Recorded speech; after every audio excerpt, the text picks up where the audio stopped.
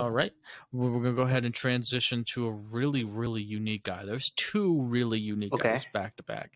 Um, the first one is John Butler from Florida State, seven foot Jump. tall, seven foot two wingspan. He's just an extremely unique prospect.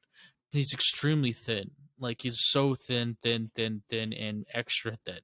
Um, He Mhm. moves so well because he's so thin laterally that he can guard one through four. He's just so thin that he can't guard through five because he's, he's even though he's seven foot. Um, eh, eh, he's gifted that way, so he can defend at a high level.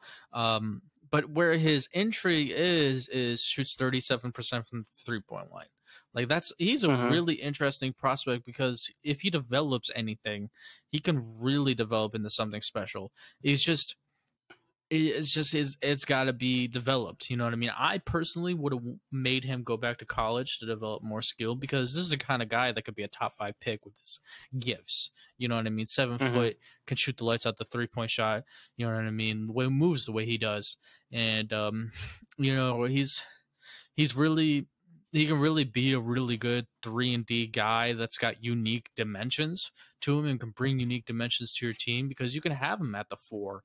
Like if four years from now he bulks up well enough, you can have him at the four, and you can have a seven extra seven footer without like losing anything shooting wise and defensively and movement and like being able to guard multiple positions.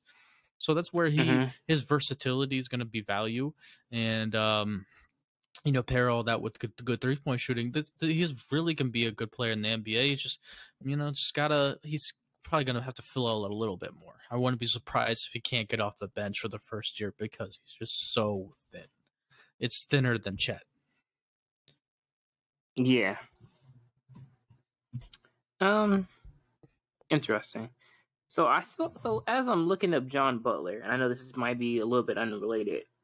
His dad might have played college basketball too, because John probably- Butler, another John Butler, came up as well. that's cool but there's no way of knowing. Um, it's a little tidbit. Um, so for his career, only 31 games. Mhm. Um, he averaged 5.9 points, 3.2 rebounds, Mhm. and 0.7 assists. yep all all upside Yeah. yep yeah he's he's he doesn't have any other skill in the standstill threes right now but you know it, Yeah. the versatility nba length is where things get interesting for him. Hmm all right